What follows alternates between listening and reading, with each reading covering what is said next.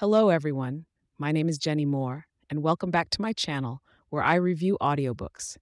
Today, I'll be sharing my thoughts on the audiobook Too Pretty to Live The Catfishing Murders of East Tennessee, written by Dennis Brooks and narrated by John Pruden. Before we dive into the review, make sure to check out the pinned comment for the link to the full audiobook. Now, let's talk about this gripping true crime story. Too Pretty to Live follows the shocking and tragic events of the catfishing murders that took place in East Tennessee. The author, Dennis Brooks, is a former journalist who covered the case extensively and brings his expertise and insider knowledge to this book. And with John Pruden's captivating narration, the audiobook truly comes to life. Brooks takes us on a journey through the twisted world of online catfishing and the devastating consequences it can have.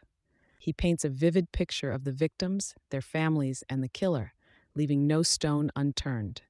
Pruden's narration adds an extra layer of intensity to the story, making it hard to press pause. What I appreciated most about this audiobook is how Brooks delves into the psychology of the killer and the impact of social media on our society. It's a cautionary tale that will make you think twice before trusting someone online.